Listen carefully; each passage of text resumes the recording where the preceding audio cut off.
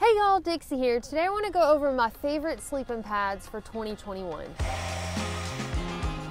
First, let's start off with my favorite budget sleeping pad, and that is the SleepInGo camping sleeping pad that you can get on Amazon. If you're just getting started into backpacking and you don't want to invest a ton of money, or if you've got a son, daughter, niece, nephew, and scouts, this would probably be a great option because it only costs $40 and it weighs 14.5 ounces. So that's a pretty good weight for a beginner sleeping pad. Not to mention, it has a lifetime guarantee. So once you invest that initial $40, if something happens, then you can always get it replaced. This is a sleeping pad that I carried with me last summer when I was on the Pine Mountain Trail and I found it pretty comfortable. I was actually surprised how much I liked that sleeping pad just because it was so budget friendly and sometimes budget friendly gear isn't the most comfortable gear. The sleeping pad only has a thickness of two inches. I'm used to pads that are a little bit thicker, but I still slept very comfortably on the sleeping pad. My favorite sleeping pad for colder temperatures or the winter months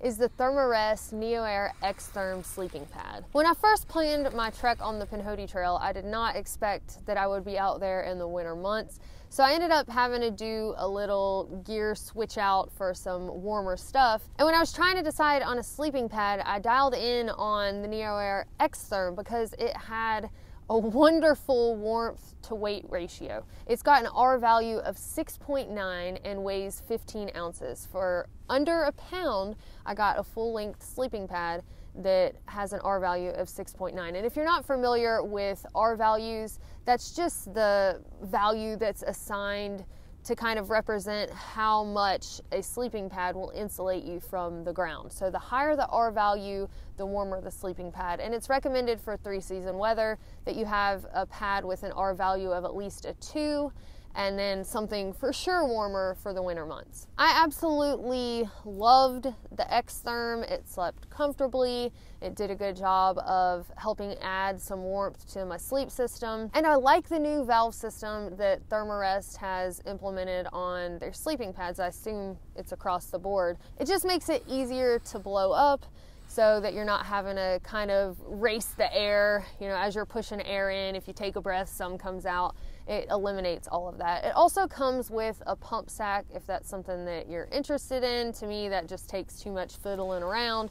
So I prefer to blow it up without that and I don't even tote it on trail. The only thing that I didn't love about the NeoAir X-Therm is that it is a pricey sleeping pad.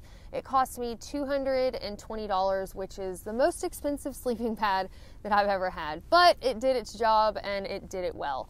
And I know a lot of you who are familiar with the customer service debacle I had with Thermarest in the past are probably thinking, what, you're still using Thermarest pads? Well, they make the best pads, in my opinion, in the world of hiking and backpacking. So I just make sure that I purchase their products from a place like REI who will back it for up to a year, whether it's used or not. And if REI doesn't have a product available, then I try to find another company who will at least honor it for 30 days or so. And my favorite all around sleeping pad for when I'm going out on a backpacking trip is the Thermarest NeoAir X Lite.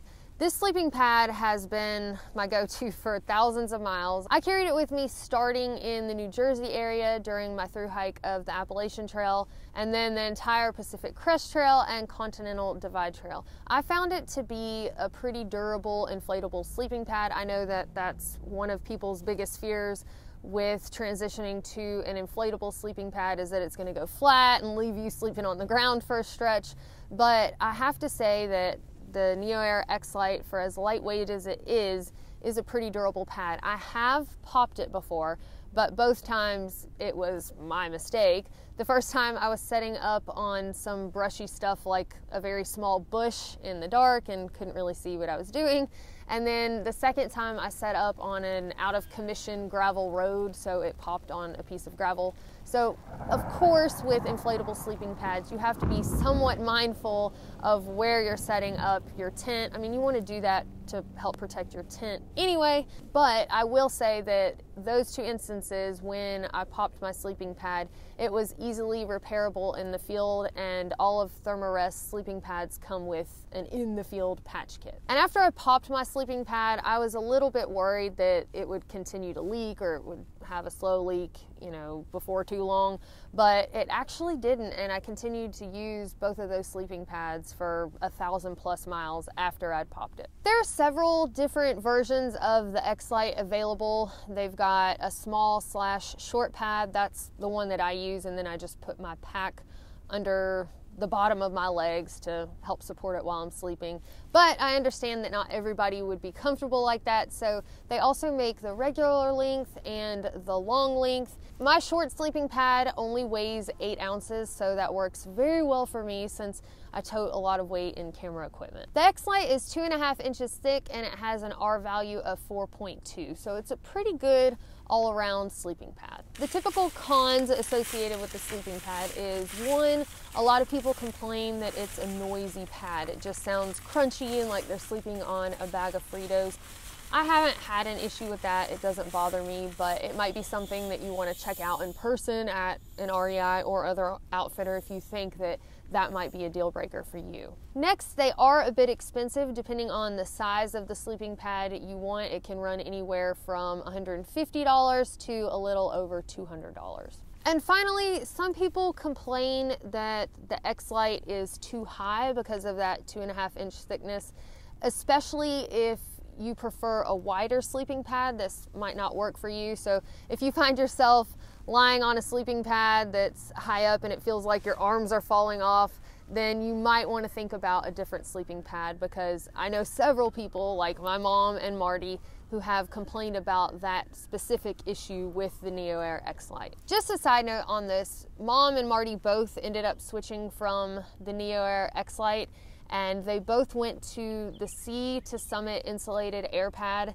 They thought it was very comfortable. That air pad is only two inches thick, so it doesn't give you quite the same feeling of being too high off the ground, so it's easier to stay on the sleeping pad. And mom went with the regular width. Marty got the large to give him a little bit more room because he's more broad in the shoulders than I am or my mom is. The price range of that pad is $140 to $160 and 16 to 21 ounces is the weight range, of course, depending on what size sleeping pad you get. Another thing I want to mention before I go, because I know some of y'all will probably ask about this, and that's the big Agnes AXL sleeping pad that I used while I was on the Pinhoti Trail. It was okay. It was nice to have a full length sleeping pad that was a comparable weight to my short NeoAir X-Lite. Uh, it was nice having an actual pad under my legs. I was really looking forward to testing it out, but unfortunately, it got a slow leak pretty early on. And then I started getting into some colder temperatures and I wanted a warmer R value in a sleeping pad. So I ended up just switching out to the NeoAir X-Therm. I haven't had the chance yet to submerge the sleeping pad and see if I can find where that leak is coming from. So if it's something that I did and punctured it, or if it's something with the design and how it was manufactured. And I haven't contacted Big Agnes to talk to them about a replacement because I haven't seen if it's something that can be patched or if it needs to be replaced. So I didn't get a great test on that pad. Again, it was okay. It wasn't the most comfortable sleeping pad I had ever been on, but it did get the slow leak. So at first, I found myself when I was sitting on my pad in the morning, I noticed that my hip or my elbow would go into the ground while I was getting ready and stuff. But I ended up, after a while, having to reinflate it in the middle of the night while I was sleeping, and that's the point where I was like, okay, I've got to switch out because I'm getting too cold at night anyway. But anyway, that's why it didn't make the cut, and if I end up trying it out again in the future, I'll let y'all know. All right, y'all, well, that is all I have for you today on sleeping pads and which ones are my favorites. I'd like to hear about your favorites in the comments below. What sleeping pad your go-to and why. Thank y'all so much for watching. I hope you found this video useful. Don't forget to subscribe before you go, and we will see y'all next time.